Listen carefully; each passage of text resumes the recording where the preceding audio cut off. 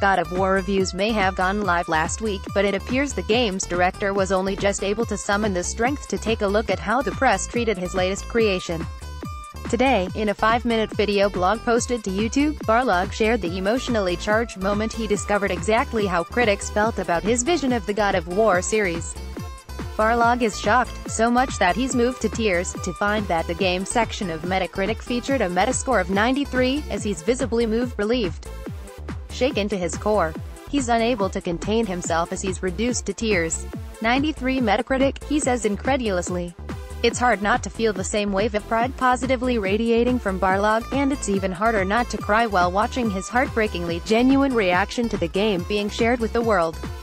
I'm not sure I'd want to put this private moment online, but that makes Barlog even more of an endearing personality. I guess I didn't want to believe that others would see it as we saw it so that's just awesome. I guess that just means I don't know Shiite Barlog says in the clip with a slight laugh. It must be incredibly liberating to work on a project so long and then see such a pure, positive reaction from the community. Barlog's video is one of the shining moments we don't see enough of in this industry, and it's totally refreshing. Congratulations to Cory and the rest of the God of War team on what's sure to be a great launch and for putting out the next great iteration of the long-running series. For our thoughts in full review form, be sure to check out the official Shacknews God of War review.